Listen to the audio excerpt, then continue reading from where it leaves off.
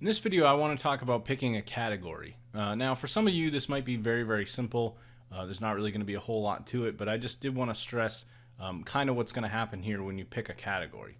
So I'm going to hit edit on the category selection here. And you can see that this company is actually not only just an electrician, but they also do plumbing work, HVAC, and heating. Now, this is really where it starts to become important. If you were, for example, like a pizza place, you know, here they can give you some good examples so you wouldn't type in pizza and pasta or pet food and toys. There's actually very specific categories that need to be picked. Um, basically, you want to find a very, very specific category that describes what you do for a business. It's not like keywords. Here they give you another example. So if you're a wedding photographer, that's all you're going to put in. Um, you're not going to put in things like photos for events or photos for weddings and all these other things like doing different keywords. You're just going to do one category and that's all you can do here. Now, what's going to happen, another thing I just really want to stress, and this is a great example. So let's say you're a similar company to this. If, um, if you're just one category, then you really don't have to worry about this.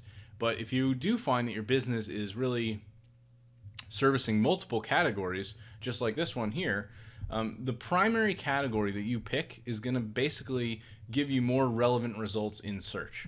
So if I actually had them set up as a primary uh, business for an HVAC contractor, then there's a lot higher chances that if I go on Google and type in HVAC near Windsor, Colorado, that they're actually going to show up higher.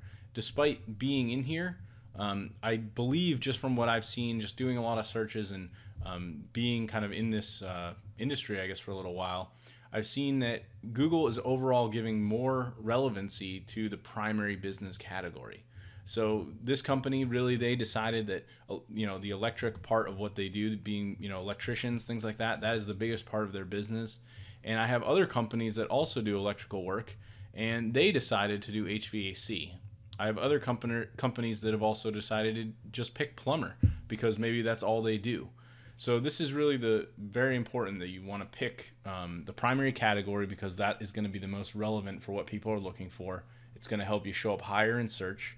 And then on top of that, you can add the secondary categories. You can just add another category, and you're basically going to be able to add in any of those. You're also going to see as you type, so let's just say they did air conditioning. We could add an air conditioning contractor or air conditioning repair, air duct cleaning, um, you really get a whole bunch of uh, other categories you might be able to pick. And these this type of company might also offer some of these things, so that might be good to actually like go over with them. Uh, you know, in my case, obviously this is one of my clients, uh, going over this and you know basically adding other categories because they're going to have more relevance here and show up higher for searches based around these types of things. So I hope this makes sense. If you have any questions, feel free to let me know.